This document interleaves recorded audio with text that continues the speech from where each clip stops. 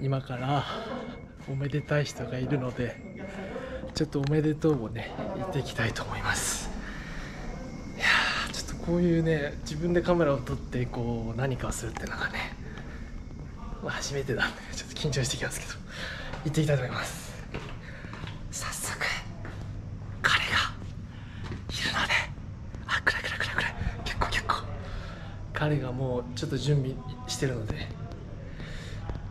行きたいと思いますここからちょっと真っ暗なのでちょっと画像は暗くなりますいやいきます。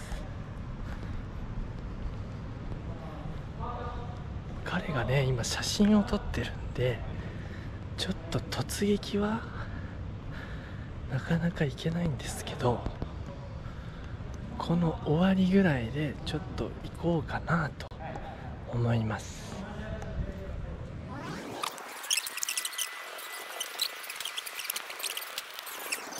滝さん結婚おめでとうございます。あ りがとうございますあ暗い暗い。ちょこっち来て。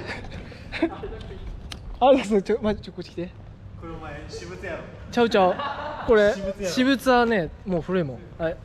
さきさん結婚おめでとうございます。ありがとうございます。次は小島元気ってはい。自分で公表してました、皆さん楽しみにしててください。8年後かな。